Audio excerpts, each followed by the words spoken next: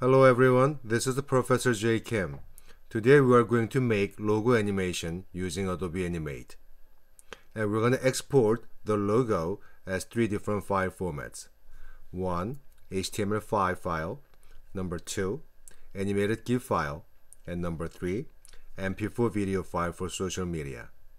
And also I'm going to make a link to the video tutorial for this logo making, uh, mountain bike logo using Adobe Illustrator uh, in my description. So please don't forget to subscribe my channel, hit the like button, and set the alarm for my latest video. Then let's get started. Okay, so first please download this, the Adobe Illustrator file, the logo I made, uh, mountain bike. It's a kind of fake logo. Um, and then I made a link uh, to this file in my description. So once you download it, please open Adobe Animate. We're going to create a new file. The size is going to be 300 pixel by 300 pixel and 30 frame rate and HTML5 canvas created. Okay, so that's the file. Okay, now back to Adobe Illustrator. First, please choose this the top the black gear shape and copy and back to Adobe Animate and paste in center. It will ask you this. Please check the second button. Uh, paste using AI file importer preferences. Okay, so that's it. That's good.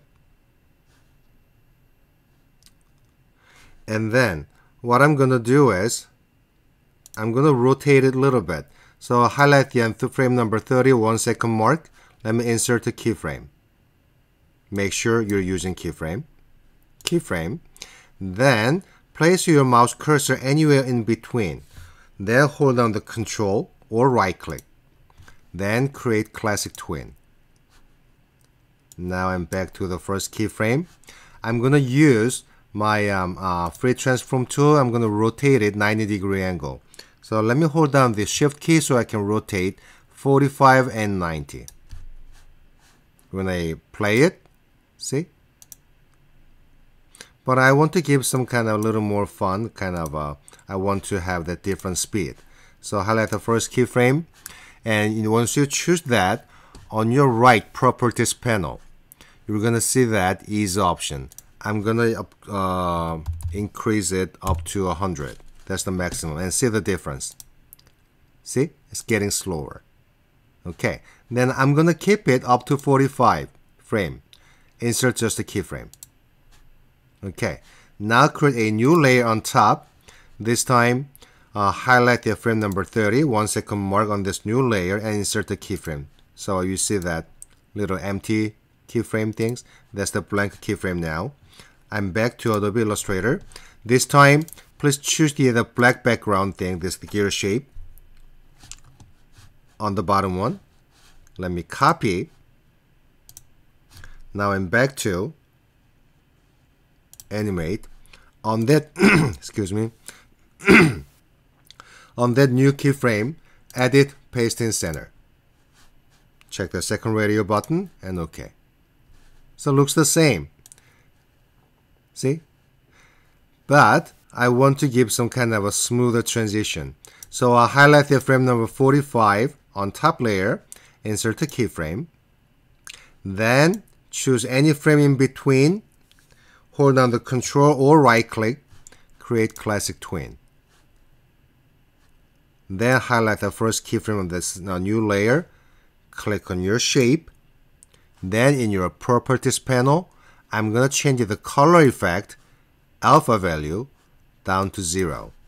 So what happened is spinning, fading in, spinning, fading in because first keyframe alpha value is the 0% and the second keyframe of alpha value is 100%.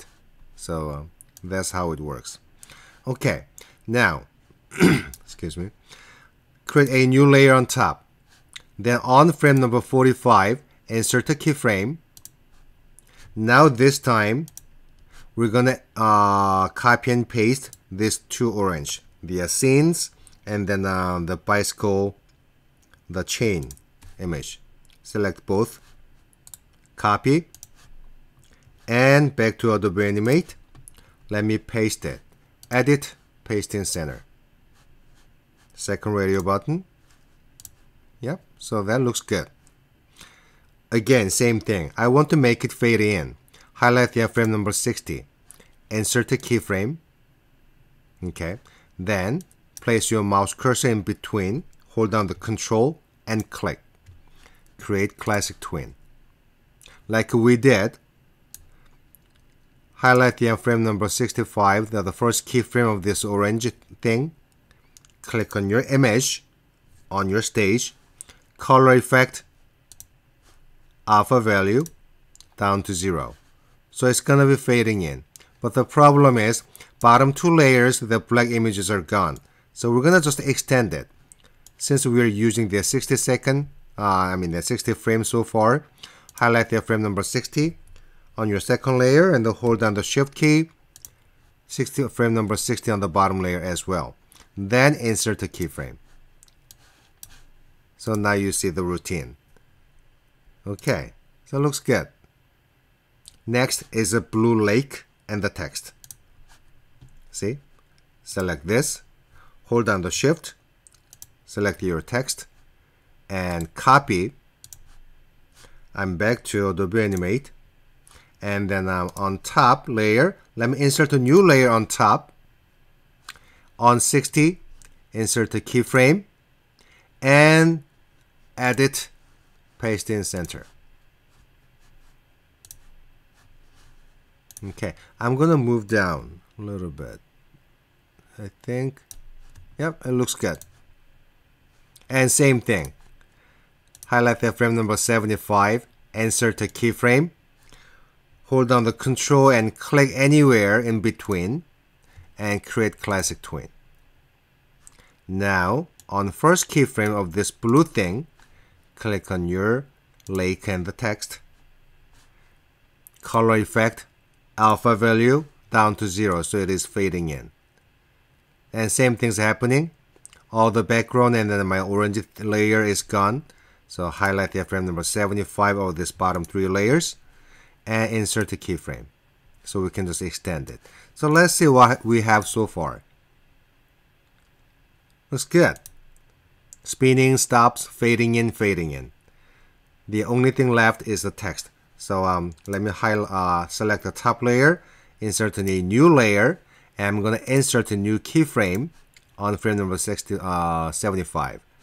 Now back to Adobe Illustrator, select your text, copy,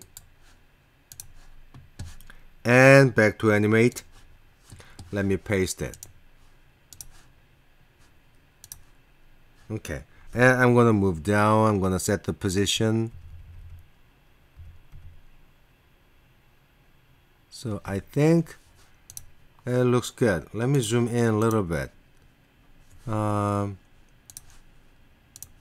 a little bit up. That looks better. Okay. Okay. Then we can animate this entire text, uh, entire word, mountain bike, but I want to give some more dynamics. So what I'm gonna do is, I'm gonna animate individual letters separately. So select your text, mountain bike. Then go to modify and break apart. Now you will see this, see that? Uh, it is separate into an individual letter now. So mountain bike. Still selected. Go to modify again timeline, distribute to layers, and see this. So now uh, each letter is separated into an individual layer. So we can animate it. So for now, on the bottom, let me highlight the frame number 80. So it's going to be kind of a quick animation. And hold down the shift key, highlight the frame number 80 on top layer. Then insert the keyframe. Okay. Now, select all layers for the each letter. So that's the bottom one. And then hold down the shift and click on the um, top layers. So all layers, the letter layers are selected. Then hold down the control and click somewhere in between 75 and 80 on any layer. Click Classic Tween. Okay. But it's kind of hard to see what's going on. See? So what I'm going to do is, first, uh, I'm to extend this bottom four layers up to number foot, uh, frame number 80 so we can view everything. So highlight all four layers, insert the keyframe, just extend it. Then rewind to frame number 75 and then let me highlight all letters on first keyframe which is the frame number 75 hold down the shift key click on the 75 on top layer then choose your free transform tool. Hold down the shift key and drag I'm gonna make it not too much not too big about this big. Okay? And in your properties panel color effect choose the alpha down to zero. So it's gonna be like this. It's cool isn't it but uh, I want to give the kind of little delay between individual letter. So layer 17 in my case that's the first letter M see that? So I'm gonna just leave it as it is. Next letter O. Highlight the, the entire layer. You see the all blue segment meaning this entire layer is selected. Now place your mouse cursor somewhere here. Just keep pressing. I'm going to move one two frames to the right next letter one and two next letter 1 and 2. So we're building kind of uh, steps 1 and 2. 1 and 2. 1 and 2.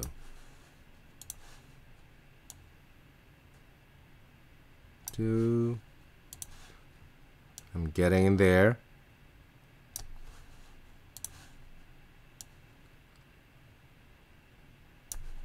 I have two more. And the last one. Okay. But problem is, see that? It's all empty. So um, I'm gonna choose the last frame on my the, uh, the second layer. Hold down the shift key and click on the bottom layers, the same frame. So all blue here. Then insert the keyframe so I can extend it. So let's see what we have. Play. It's cool, isn't it? Again, spinning, stop, fade in, fade in, fading in, animating. Okay, so looks good. Uh, but uh, what's gonna happen is uh, if I save it as a GIF file or the HTML file or the, the MP4 file for the social media, it's gonna loop. Then uh, we don't have enough time. So uh, I'm gonna test it so we can view it. Control, test movie in browser and see what happens. It works as an HTML5, but um, see, it just keeps looping. It's good, but um, people don't have enough time to read the text and then to view the entire logo. So what I'm gonna do is, I'm gonna make it stay a little longer, like um, maybe up to five seconds. Then hold down the shift key, click on the bottom layers 5 second mark and just insert the keyframe. Let me test it again. Control test move in browser as an HTML. Mountain bike, stay and play again. Yes, that's good. Now, we haven't saved yet. So first I'm gonna save it. Save as uh, in my folder as the um, mountain bike underscore uh, animation. Save it. Okay. Now, let me export it as the HTML5 canvas already uh, first. Go to File, Publish Settings. Make sure uh, publish the JavaScript and the basic. I'm not gonna change anything maybe you can check this make responsive if your file is kind of a big but um I, I think it doesn't make any changes this time because my file size is only at 300 by 300 so I'm not gonna check. I'm gonna leave it as it is. It will create the other as an image folder as HTML file. Okay. Okay. All right and publish. And okay. Now let's see. You see that? It created the images folder and also HTML document let me open it in my browser. It is working. Yeah. Okay. So HTML5 is done. Now as a GIF file animated GIF file go to file export as the animated GIF so make sure your file format is a GIF okay. If you check the transparency we can have a transparency background but I'm not gonna do that at this point. point and uh, the color depth. The smaller is better. So let me choose number two and see what happens. See? This is a black and white. So it's not good. It's too too too less colors. Number four is better but uh, I'm losing my blue. Let me try eight it's okay, but I want to compare this to um, the next level, number 16. Oh, this looks better. Okay, and let me check the number 32 as well. Okay, I don't see the big difference, so I'm gonna check, choose the uh, number six, uh, 16 color depth. Okay, and save it into mb underscore animated.gif in my folder. Save it. Let me check my folder. You see the animated GIF file? It's animated GIF file. So maybe you can use it for the another kind of HTML document. You can just use it uh, as the regular image. Okay, the last, as an MP4 file for social media. So go to File, Export, Export to Video and Media. I'm not gonna change anything but let me double check the format. This is an important one. Make sure you choose H264 this is the file format for the mp4 file the web streaming file the video file. And my location is gonna be my folder mb animation. So it will be saved as the mb animation.mp4 save it. And make sure before you do that uh, your uh, media encoder is open. Excuse me. And check start out of the media encoder render queue and export it. And let me check. Yes, I have an MP4 file. See? So um, if you want to uh, upload this then on the like Instagram, the social media, then you will need to use this MP4 file. Okay, so we made the four, uh, actually made one uh, logo animation for the mountain bike. And also we exported as the three different things. One was HTML document, HTML5. And the second one was animated GIF file. Okay and the last one was mp4 video file for social media. Okay that's it. So i hope that you enjoy this video and then uh, this video can help your uh, your project in the future. Thanks for watching. I'll see you next time